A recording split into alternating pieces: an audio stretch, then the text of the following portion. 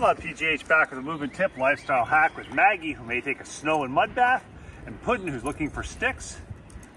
Make your movement activities, if you treat movement as a lifestyle, fun most of the time. If you're a runner or you have running friends, you've probably heard the term fartlek or speed play. But even if you're not a runner, you can make sure that you pick activities most of the time that you enjoy doing. So have fun. Don't forget, movement is different from a workout because you don't really have a plan with movement. You're just getting out there burning the carbon out of your legs. So move more, move often, and don't be afraid to stop and eat sticks.